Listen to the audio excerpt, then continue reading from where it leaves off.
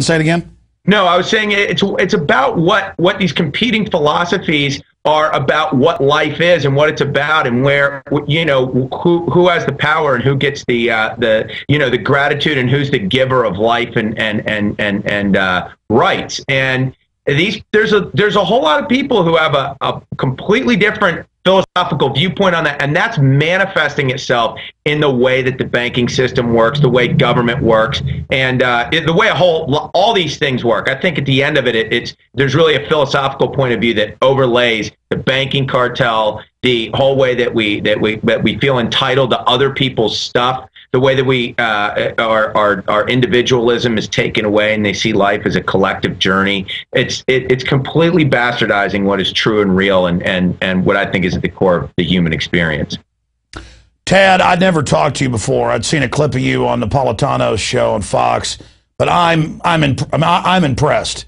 Uh, because you really get it and you're really articulate, probably more so than I am. I hope uh, sometime when I'm out of town, you'll host the nightly news for us uh, via Skype uh, because uh, you, you, I mean, you've really got a piercing understanding of this. And think about what a hoax it is that there's always been subterfuge and Byzantine court intrigue and corruption and Machiavellian manipulation. And somehow in the last 50 years, they taught people that none of that's going on. And it's crazy to even question it when all the founders, Thomas Jefferson, but other philosophers and historians, that's all they ever talked about. That's all the world's ever been about.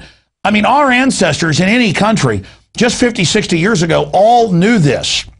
When I was a little kid, it was always, oh, that crazy old man, he thinks there's a world government and the banks are out to get you. He doesn't trust the system. By the time I was a child, it was the crazy old man, and those folks died off. They were just the common sense, normal people that had lived in the real world. And people are going to get the common sense now because the system has gotten so out of control because we've laid down to it, it's going to hurt us badly. I want to play this final clip and come back and give you the final word. But bottom line, folks, this is a film tailor made to make learning the truth entertaining and fun. American Dream.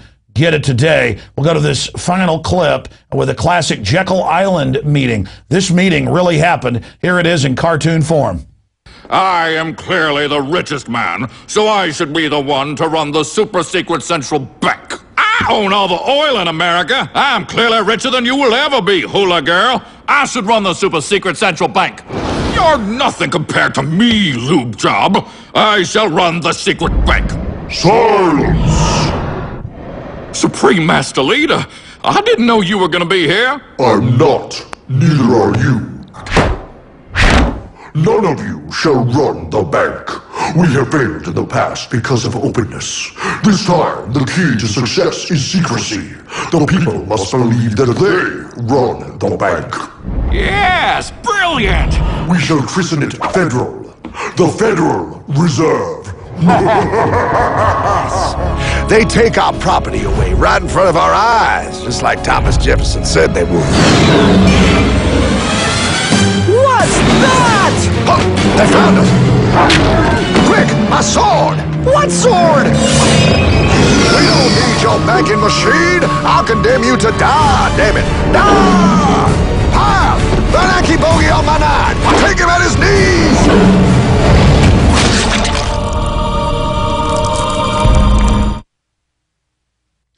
Well, Tad, uh, again, obviously you're great filmmakers, and now talking to you for the first time, here face to face.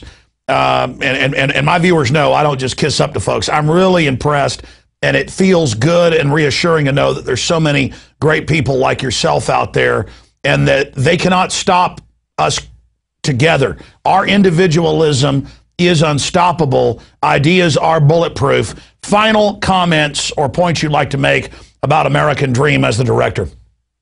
Um, well, I just, you know, what I tell people is, is that the the the the, the revolution's got to start uh, with a philosophical and uh, uh, point of view first. And you know, we made this for people who are your committed listeners, who I know that that group of people is is, is are people who believe in this movement and and are frustrated by what's going on. And we made it so that each of your listeners could go give it to 10 of their friends and say, hey, you know all the stuff I've been telling you for years, all the books I've handed you, the Ron Paul, the 300 pages that sit on your nightstand and you never read. Well, just give me 30 minutes to watch this.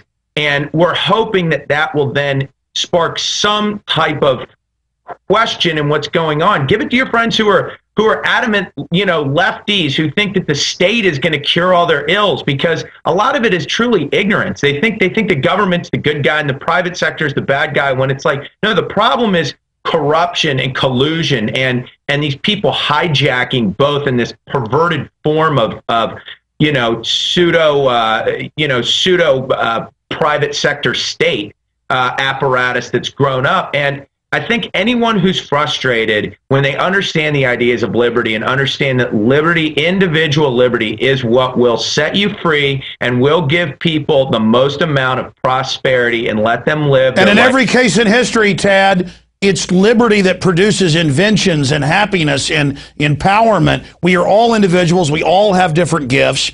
And right. the globalists are attacking that again, they have this crony capitalistic fascistic system that collectivizes our wealth, then steals it for themselves. It's mega corporations working with big government to shut down their competition. And that idea transcends all this fake left right garbage.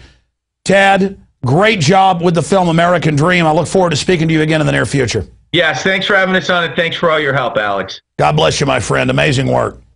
When's the next film coming out?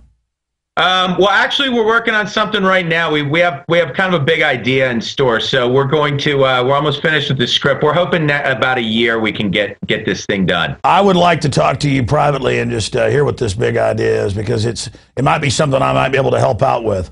Absolutely. All right, we'll talk to you soon. I definitely want to get you on the radio so we can have a hour long discussion. God bless, man.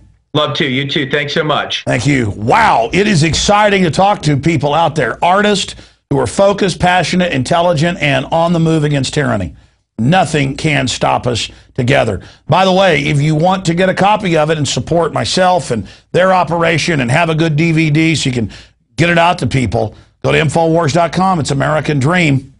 We also have a deal with our gold and silver sponsor, Midas Resources, where you get two silver dollars at cost and then free shipping a free Mark Dice book on Big Brother Orwellian Takeover, and the American Dream DVD, free on top of it. Look for those banners at the top of Infowars.com. We're going to go to break, and we're going to come right back to get into what's happening in the economy, what the banksters uh, are uh, currently doing, and we're going to talk to Paul Craig Roberts. Stay with us. It's Infowars Nightly News.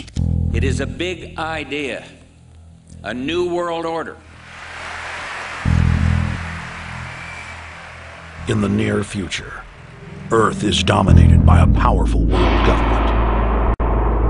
It's known as the Bilderberg Group. Could their objective be world domination?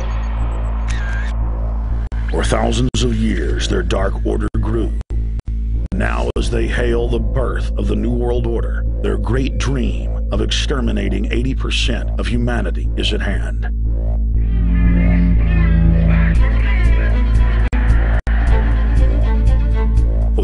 Time in history, the elite's plan for world government is blown wide open. You will learn the secret that drives the entire New World Order agenda.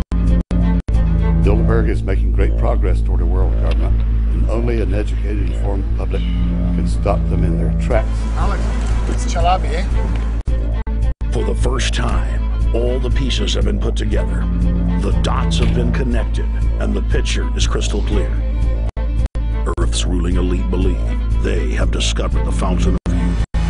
But before they can attain it, 80% of us must die.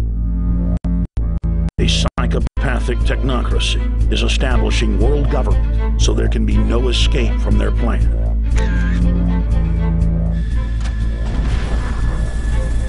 The New World Order is the old world order. I mean, just the names have changed, the appearances have changed. Most people have no idea. They're not after money. They have all the money they need. They're after power. That's their aphrodisiac. I was pulled out of a plane in Munich. They interrogated me for four hours. Some shots were fired. I need you to move off the property. Their great dream of exterminating 80% of humanity is at hand. Endgame, blueprint for global enslavement You have been warned.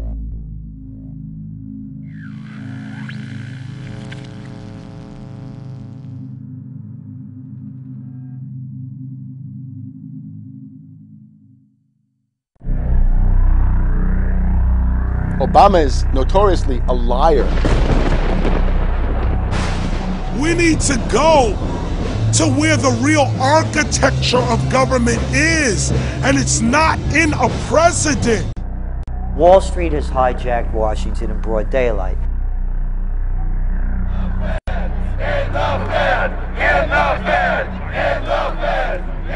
Well, Obama's already fudging.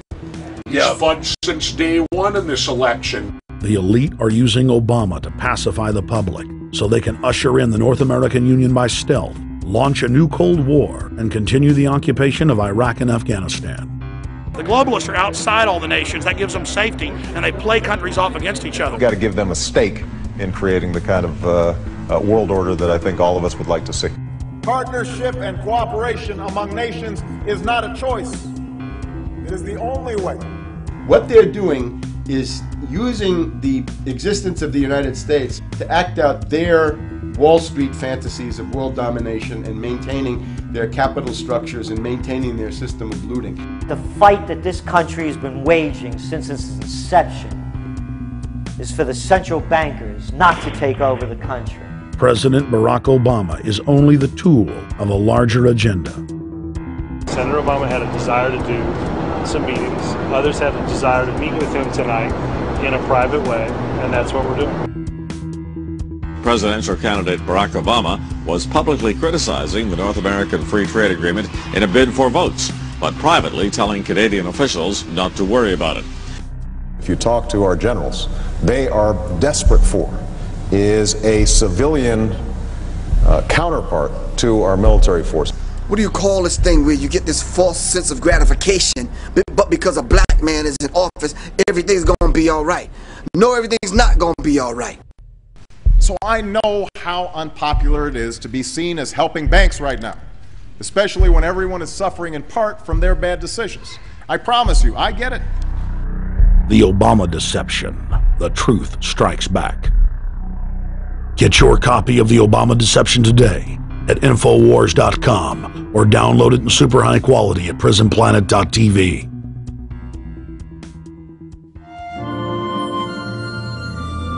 The American dream. There's a reason they call it a dream.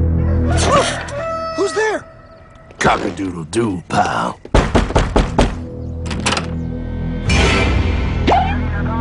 No, no, no, no, no! I don't have any more money! My job sucks right now, please! I'll have more money next month!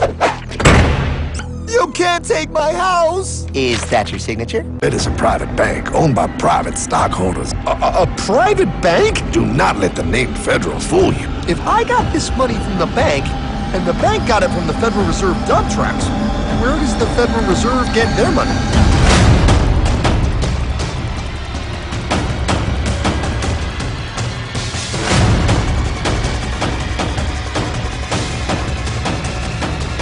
They take our property away, just like Thomas Jefferson said they would. Those sons of bitches!